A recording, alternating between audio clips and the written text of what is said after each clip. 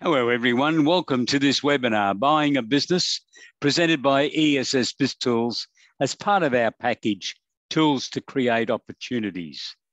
Opportunities for accountants, business advisors, bookkeepers, and chief financial officers supplying services to SMEs, but also, of course, to the owners and operators of small, medium enterprises. Hopefully, to give you a better understanding of the services that accountants can provide to you. Businesses are always being purchased, but for most of your clients, they may have purchased a business one, two, three, maybe sometimes four or five times, but that's about it. So you, whilst your client might be a very good business person, their experience to what's required to be able to sell a business could be rather limited. Most will need your assistance to get the best deal. Have they got experience in this type of business? Has your client worked in this business before? Do they understand the time commitment that's required? Do they understand the working hours to this particular business? Does it suit their lifestyle? Does it suit their family?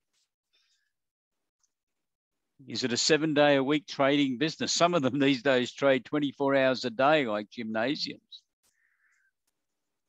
Is that going to suit their family? And obviously, if it's going to be trading for those number of hours, 168 hours in a uh, in a week, the leader or the owner of the business is going to be able to train people, delegate authority, set up a management system. Will he be able to do that, or will she be able to do that, or they want to have their fingers on every decision that's being made, which is virtually impossible in that situation? It's a good idea for you to have a look at the business systems that are being inherited within this business. What are the key performance indicators? Are those figures readily available? And some of them might be daily, weekly, but even hourly, and obviously monthly basis. Has a budget been prepared? Have you reviewed the budget? Have you made sure that everything's included? Are the salaries and wages at the right level? Have you got accountancy fees at the right level? Not just four or five thousand dollars, which is basically the annual accounts and the tax return. This is your opportunity to be advancing the concept that you are able to provide a full business accounting service, a virtual CFO service. And my suggestion, if the client only wants a set of annual accounts and tax returns, you should be suggesting they go somewhere else if your firm is committed to supplying a broader range of diversified services under the banner of business advisory services. Has a cash flow forecast been prepared? Has everything been included? The loan repayments. And has it got appropriate level for the build up of stock if it's a retail or wholesale business? various times of the year, stock has to be built up. Has there been discussions with the major suppliers to the business? Will they continue to make supplies available to your clients? All very important, especially if there's some very important products that this particular business currently sells that are integral to this business.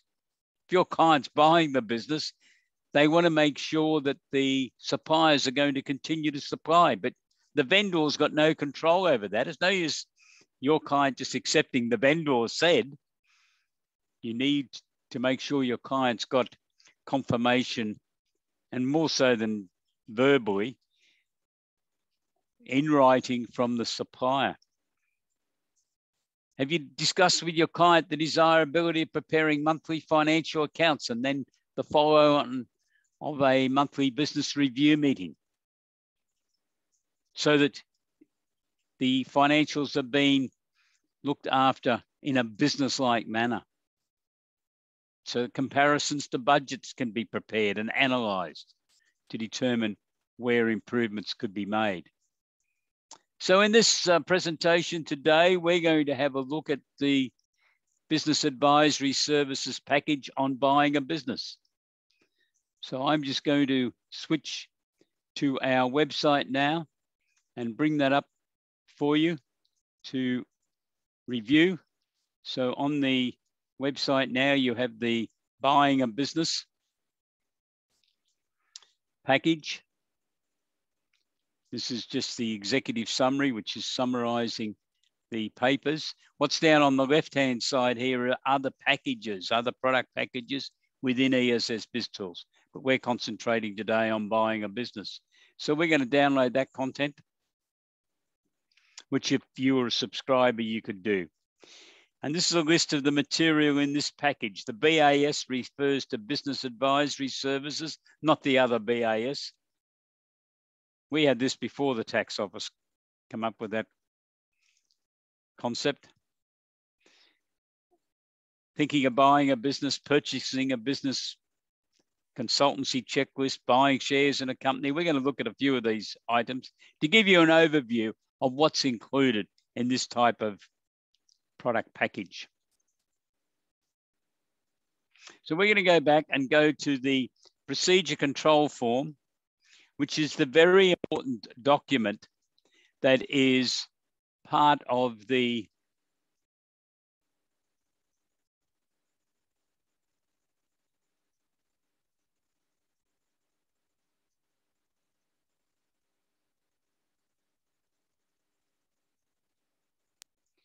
So on the procedure control form, this is the important document for the system because it sets out the various steps. We've got 31 steps in this approach to buying a business. We start off with what from an accountant's point of view is probably pretty important. That's quotation and proposal, articles to assist the purchaser that you've got. So you just work your way through it. There's a general paper on buying a business consultancy, which you could click onto and read. Gives you a detailed background on the suggested approach to take to deliver a business advisory service. So we're going to click onto that.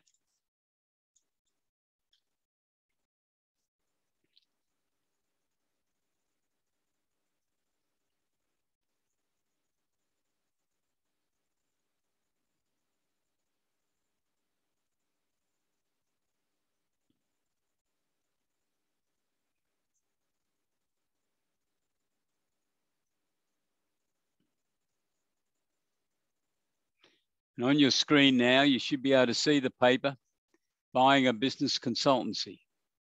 So this is an overall summary of this approach, which before you start undertaking this sort of consultancy work, I'd suggest that you conduct staff training on the whole process, but start with this one to take your team through what is included in buying in, in offering a buying uh, a business consultancy service for your clients. The material is linked to other articles, BAS articles and papers. And we have what we call an education package, which will help your team have a better idea of the matters that may arise relative to buying a business the concept of due diligence reviews.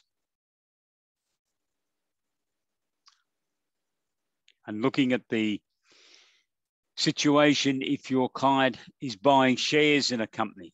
I don't normally recommend buying shares, but obviously as, as companies get bigger, it becomes the more appropriate way that sales are being conducted.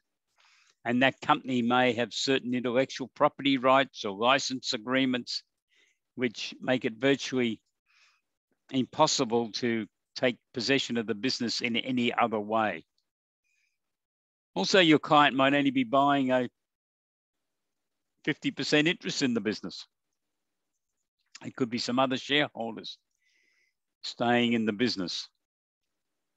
And then we got due diligence lists for non-company due diligence checklists. So there's a range of material in the system I'm just going to go back to where we were and um,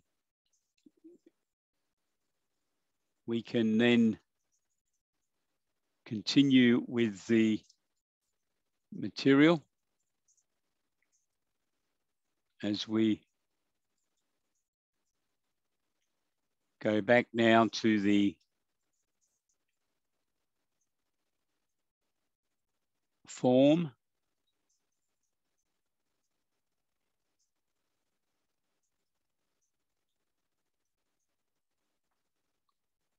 to assist you on this process. Then we got purchasing a business checklist. So we're going to go into that.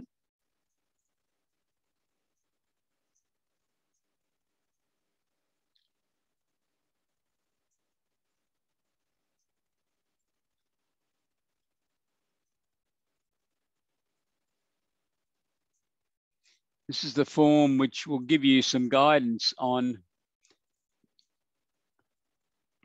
items that you probably should be looking at when it comes to advising a client on purchasing a business. Copies of financial accounts. I've got there five years, P&L and balance sheet, so you can get a good feel for what's been happening. What do you? What's your client need access to? You might be able to think of a couple of other items there, but I've put down all I can. Ascertain whether the vendor is operating similar businesses somewhere else. There's been all sorts of stories over the years of manipulations occurring when there's another similar business uh, in uh, an adjoining suburb. Examine the stock in the business. Is it obviously old? Uh, What's the stock turnover? How does it compare to benchmarking comparisons to other similar businesses? What's the history of the business? It's a good idea for your client to know the history. They might want to publicize because in a year's time, the business might be 25 years old. Well, that's something you can use in your promotional campaign. Who are the major competitors? What do you, what's your client think of them? What's their likely future? What's their strengths and weaknesses. With the major suppliers, is your client talk to those suppliers? Is they have they made arrangements to be able to trade with those suppliers? Are the terms of trade convenient, suitable? Or are they wanting payments made on a cash basis or within seven days of receipt? Does the business currently render its invoices promptly? What's the debtor's days outstanding? Because I've had situations where I've observed that some some people have bought a business and not looked at this, and debtor's days outstanding have been up around 100 days. And a new owner goes in and suddenly tries to enforce 30 day trading terms. And the customers didn't like it and they started leaving. Now, that can be a disaster to a new owner. So to save that embarrassment and that problem, I'd be really checking those debtors' days outstanding. And if they're very long, make sure your client realizes that's what they may have to fund 100 days. Plant and equipment is it up to date? Is it licensed? Is it serviceable? Or is it all ready to be thrown out? What's on lease? What's on hire purchase? Is there a lease of premises that are very important to this particular business? Is it a milestone address? Therefore, you'd want to make sure there's been a discussion with the landlord to make sure they're going to agree to assign the lease to your client. Examine the terms of the lease. What's your client got to do either during the lease? In a lot of shopping centres, it's not unusual to have a requirement that every two or three years the shop's got to be refurbished. Can be very expensive. And what condition is the premises got to be left in at the end of the lease? Some leases indicate they've got to be returned to their original condition. Can be very expensive. If you're buying, your client's buying the uh, premises, make sure they get the written down value, the original cost, all those details. So they've got the ability to continue on with the depreciation of the building. Check about the zoning. Don't assume just because someone's operating a business of a particular type in this location that they've got approval from the council. They might, might not. It might be a, a sweetheart agreement that the council's allowed them to continue to trade. But they mightn't be happy about the business going on to someone else and continuing in that manner. They might have been hope, waiting for or hoping for the vendor to sell up and get out and close down the business. Ascertain the price. So there's some of the matters that need to be considered and we can then be in a position as the accountant to advise the client on what they uh, should be doing. Thinking of buying a business, let's have a look at that one. BAS 1049. We'll just bring it up from here. And here we've got it on the screen now, thinking of buying a business. What's the personal motivation? Do they need some training, perhaps in market research, marketing plans, customer relations, budgets and cash flow forecasts, the accounting system, selling? What markets this is the business in? How big is the market? Is the market growing? Who are the competitors? The competitors SWOT. Is the location satisfactory? Is there passing traffic? Can people get access? Can they park? Or has there been a change in them by the main roads department? Have you checked whether there's any major infrastructure about to happen? Are you near, near is the client looking at a business that's near a major sports stadium? And therefore, is it going to be difficult to get access on certain days in a year? And will that interfere with your client's business? Some will see it as a bonanza, of course, create some boom times, but others it might be a, a gross inconvenience. So that's some of the items that you could talk to your client about. And let's have a look now at the buying a business consultancy.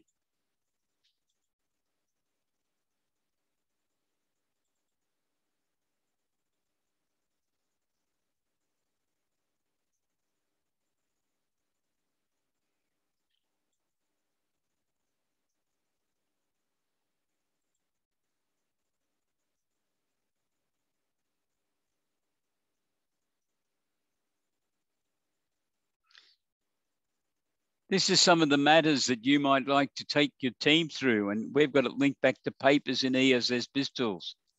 For people thinking about buying a business, here's some of the papers which we've produced in ESS BizTools that I recommend that you make sure your team have read and understand.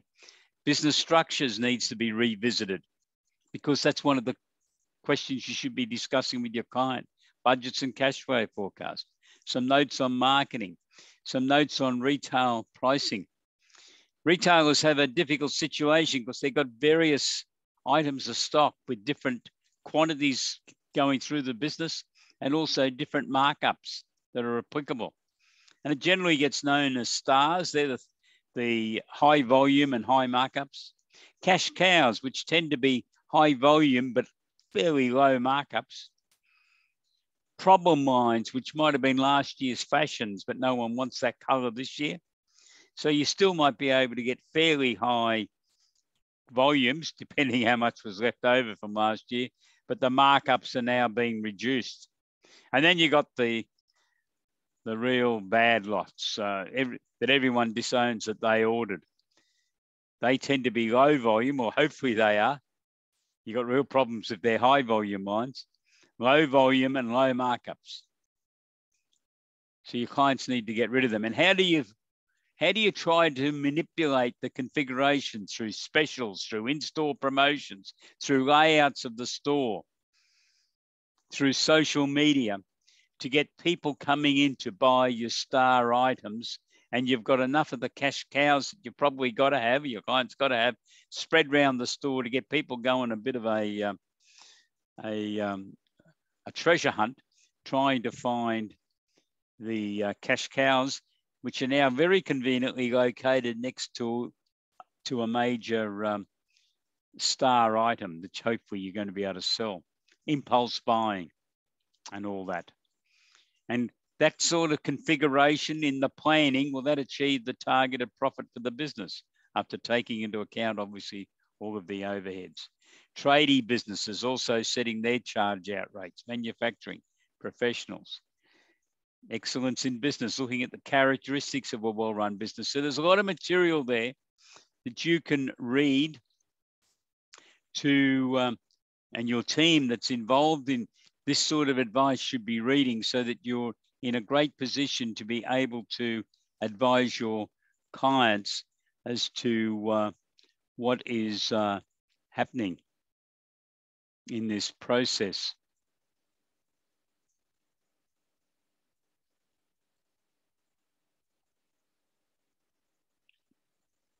Now you see here all this material in the work checklist as I just flick through.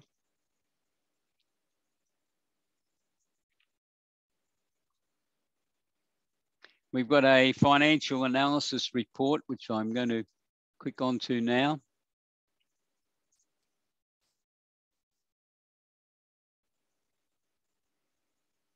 This is the template of the report to the client on the financial analysis report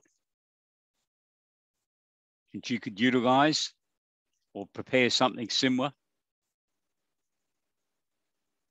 calculating what you believe the average net profit will be after you've made adjustments for appropriate management salaries and benefits, the rental of the property, bearing in mind that the vendor may have owned the building and hasn't ever worried about charging a commercial rent to the business operation. But in this discussion, um, your your client's not going to buy the building, so there's going to be a rental charge. You need to make sure that's included in the budgets because the financial figures that the vendors provided probably hasn't got a rental figure. Is there been interest charged on internal loans? So there's various adjustments that you have made so that you have determined a future maintainable profit for the business. And based on what the vendor's talking about as a purchase price, what are the other costs going to be? Stamp duty, GST if not acquired as a going concern, rental bond, electricity bond, working capital, other items. And there could be quite a number of other items. There might be a need for some immediate capital expenditure because part of the business is run down and you know your client knows that they're getting a slightly discounted price because of it, but Make sure the total investment's clearly been identified so that you can then be looking at what the rate of return will be. And is the client happy with that? Now, at this stage, we're in a bit of, I think, uh, very uh, unlikely situation to continue in the future because interest rates are at historical low records, low levels. That's not going to continue forever. So you need to be taking that into account in determining what sort of future maintainable profit you'd like to achieve so that there's a targeted re net return. It might be 20%, 25% is getting back to the normal rate of return that business people are seeking to take into account the realistic in, uh, return, the investment risk that you have in running any type of business.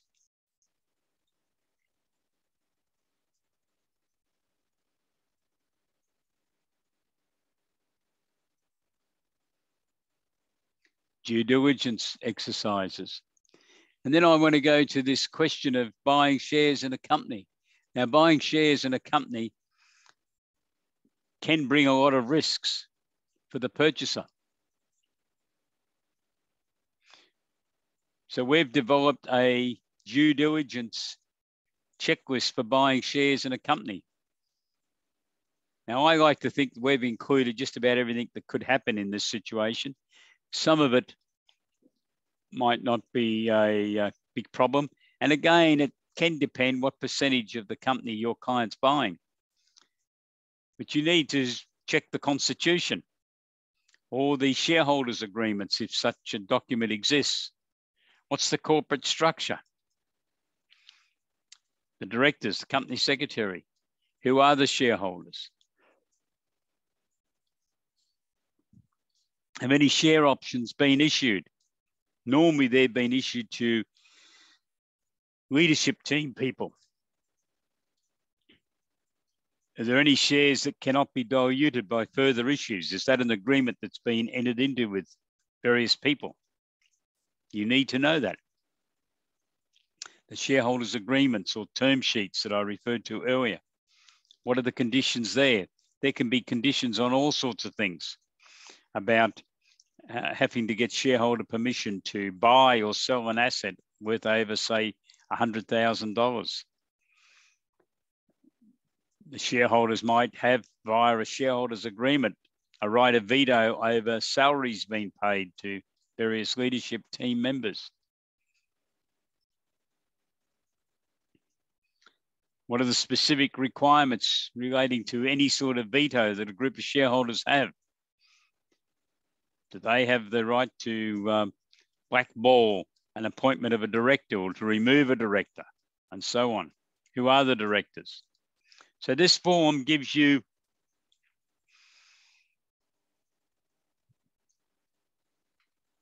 pardon me, a range of material to go through and check. Who's the chairperson? Does that person have a casting vote? Directors meetings, how often are they held? Is your client going to be a director? Have they made inquiries as to the current financial position of the business? Check with the tax office records. Can they get copies of the most recent reports that have been prepared by Chief Executive Officer and other leadership team members? How are they going on their business plan? Have they got one? Can you get a copy of it for your client? Do they have retreat meetings? Is your client going to be involved in these?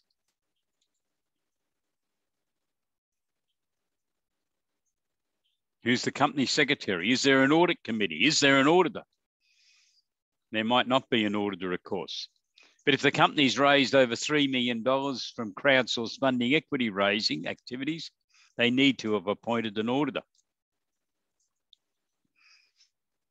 Now, if your client was going to become a director, they need he needs or she needs to make sure they find this out because they could be falling um, foul of a uh, Australian Security Investment Commission requirement. Who's the team and so on. So hopefully that gives you a, a great overview of what can be, what should be done in undertaking a due diligence review on the purchase of shares in a company because a lot of things can be hidden. And once your client has bought those shares and become a director of the company, any current problems land on your client's desk to be sorted out. And that could be money owing to the tax office money's owing on superannuation. So it needs to be sorted out with the vendors. So that's the overview of the material that's, or some of the material that's within ESS BizTools that uh, we um, suggest that you could utilize to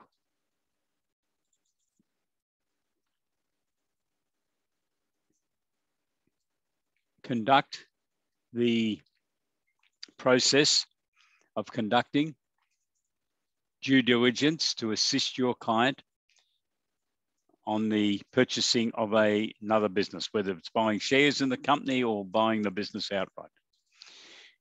I now want to talk to you about launching business advisory services into 2022. It's not very long to 2022, of course. So we have a Christmas and New Year diversification promotion. Diversification because The CommBank's accounting market pulse report released in May indicated that 95% of the accounting firms from all over Australia that they surveyed and indicated that in 20, 2021 and 2022, they were going to diversify their services further and that the top rated service line was identified as business advisory services. So we want to give you the opportunity of getting started on business advisory services. We have a special Christmas promotion that's going to run through until this Monday, the 17th of January. It's a 54% discount. It will get your firm started at the level that suits your firm. So we've got three levels on offer for you. The starter package for $89 a month for 12 months, including GST. $89 a month. Or a 12 months upfront discount payment of $899, including GST. And you receive a one hour mentoring session as part of that package. And you get a range of packages which will get you started in being able to offer business advisory services. You can upgrade later on, or you can upgrade by making a subscription for individual products, if that suits you. We then have the optimum package. Now, this includes everything that's within the advanced package that I'm going to talk to you about in a moment, except access to ESS BizGrants. grants. And you are not able to use the license to upgrade ESS BizTools material to a secure area on your website. That's what a advanced subscriber can do. So if you're interested in the advanced subscription, I'm coming to that shortly.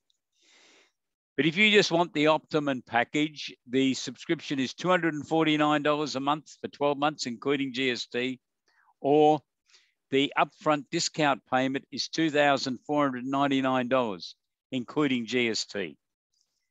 And that package receives three mentoring packages, one hour each, or you can take them in 30 minute sections if you like. And the advanced package includes everything that ESS BizTools produce. Currently, there's 32 product packages. The subscription is $299 per month for 12 months. That's this 54% discount. Or you can get access to the product at a further discount by uh, 12 months upfront discount payment of 2,999, including GST. $2,999. Normally that package is $6,500, including GST. That includes four mentoring packages of one hour each. And um, you're really set up then to be, the, be delivering business advisory services by assisting clients to raise capital, crowdsource funding, or early stage innovation company, delivering of a virtual CFO service, because we've got a complete package on chief financial officer, helping clients on research and development, helping clients on understanding government grants and applying for government grants. You have a full access to pro promotional and marketing material that is included in the starter package that flows right through. So the advanced package receives everything that's in the starter package and everything that's in the optimum package and more. The more is access to ESS BizGrants, which is a fantastic tool that allows you to enter some basic information on a client, takes about three minutes, and the system will then identify grants that that client could be eligible to apply for. Produces a report so you can sit down and have a conversation with your client. It really shows your client that you're interested in them. So if you need more information or you're ready to subscribe, please go to our website, www.essbiztools.com.au. So that's ESS Biz Tools. Hasn't come out in the slide there, but www.essbiztools.com.au. Our contact details. If you want to send me an email, you can do so, please, peter at essbiztools.com.au. Or if you want to give me a phone call, that's okay, 1-800-232-088. But please visit our websites. There they are, essbiztools.com.au, or you can go on and have a look at our BizGrants product if you wish, www.essbizgrants.com.au. Thank you for joining us for this webinar. Please stay safe. Have a great Christmas. And we look forward to talking to you in 2022. And I hope you do have a very happy Christmas. And uh, let's hope 2022 is a better year than what it's been in the last couple of years. Stay safe. Talk to you all, I hope, in um, the not too distant future. Goodbye.